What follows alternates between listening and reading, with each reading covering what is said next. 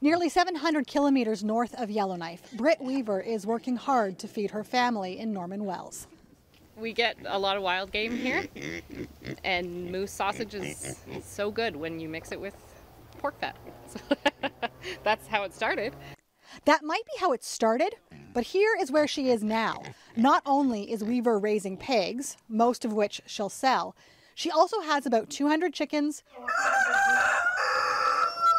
20 turkeys,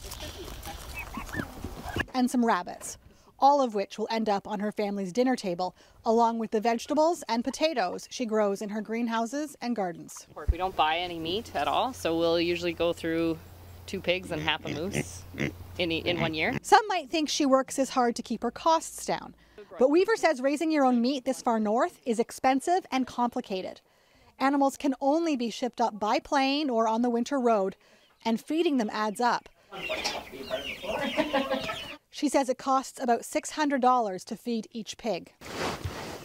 This year there was some help. She got a grant from the territorial government to ship up food for the animals. That made it possible for other people to buy feed for chickens and stuff like that. One of those people is Doris Howard. That, that one's empty, isn't it? Okay, so you have to give me that one. She bought some broiler chickens from Weaver, and she and her daughters are spending their summer getting them ready for a fall harvest. First, they were so excited, but they just can't comprehend that we're actually going to harvest these little birds. Howard says for her, she started out thinking this would be a cheaper option. But now she's just happy she'll have quality food for her family.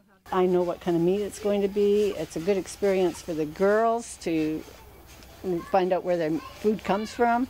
Uh, and it's going to be healthier, healthier meat than what we just get at the store.